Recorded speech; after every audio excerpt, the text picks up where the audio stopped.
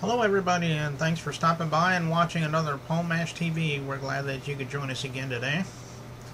And uh, as again, as I've said the last few episodes, we've really been having a lot of interviews lately.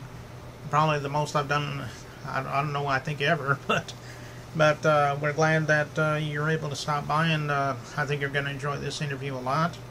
And uh, uh, we'd love to hear from you. Uh, so if you're a fan or even just a singer that sees us and would like to be on the show, like I said, just as always, just stay tuned for the closing credits, and everything will be available to you right there. Uh, this time from Nicholasville, Kentucky, we have Bruce Smith, another country music singer on the show, and we'll be speaking with him for a few minutes. So, without further ado, let's talk with Bruce Smith right here on Paul Mash TV. Well, hello and welcome back to a brand new interview here on Paul Mash TV. And with us from Nicholasville, Kentucky, we have Bruce Smith. Thanks for joining us, Bruce. Uh, thank you for having me. Okay, yeah, it's no problem. Um, uh, I think the obvious question that uh, I ask a lot, and uh, uh that's uh, uh, what caused you to be a musician? I mean, I'm sure you've loved music ever since you were a little boy, or maybe just fell into it. I mean, everybody has their own story, so why don't you just tell me your story? Well, my dad used to sing in bands in South Florida, and um, we used to play the guitar around the house. I turned about 16 and decided I'm gonna get a lot of nerve up, but I'm gonna sing.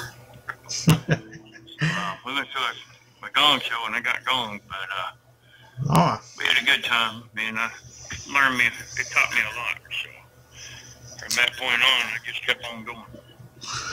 Oh, I see. Um, was it was that uh, the one with Chuck Barris? no, it wasn't that one.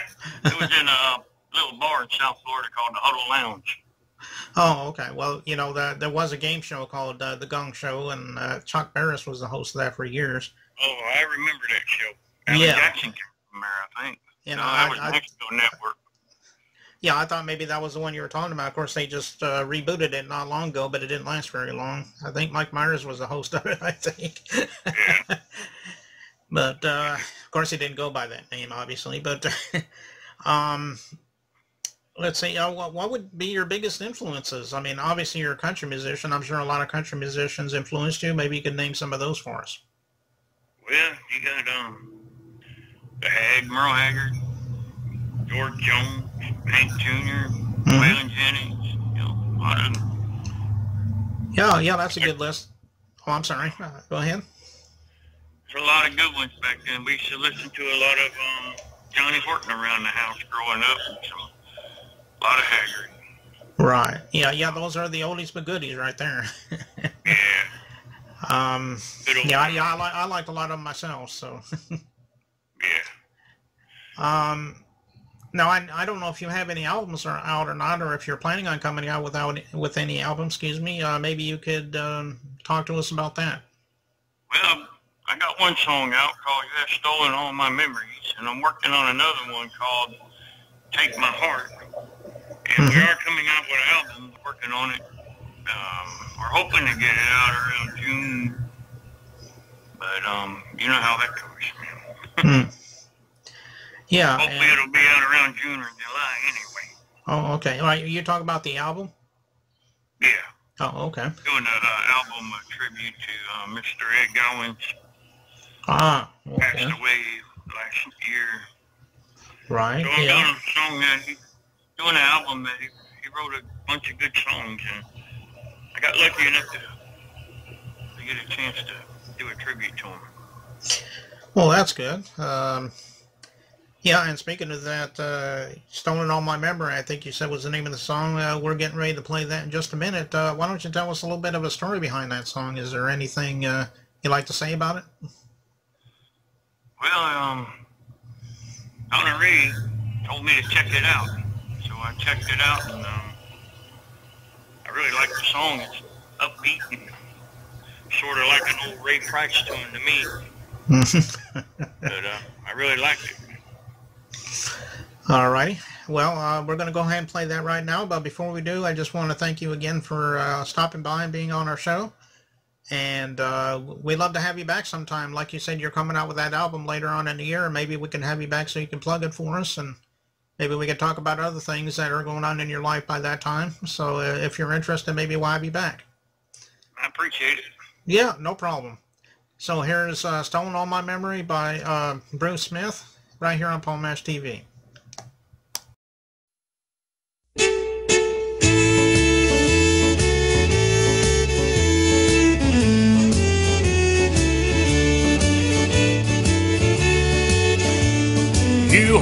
The one I dream of as I lie here every night.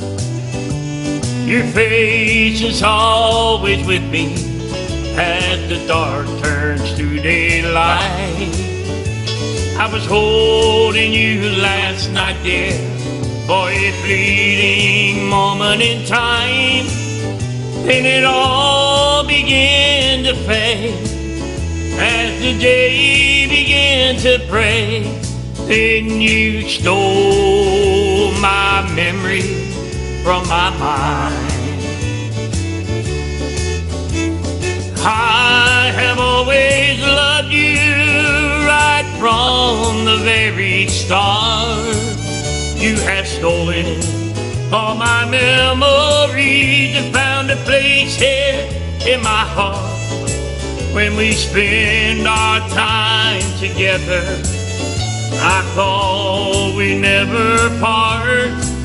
You have stolen all my memories and found a place here in my heart.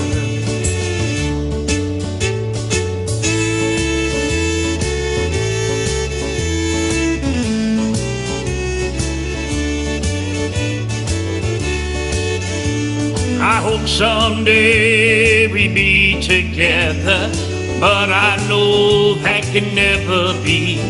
There are bridges between us. You care for him and not for me. So I'll just keep on dreaming of how things used to be. I'll still hold you in my mind